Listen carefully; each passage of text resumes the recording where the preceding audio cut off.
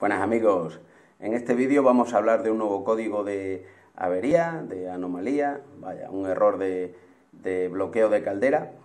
¿Y de qué código vamos a hablar y de qué caldera? Bueno, vamos a hablar de la caldera Fagor Super Compact FEE e y del código F2.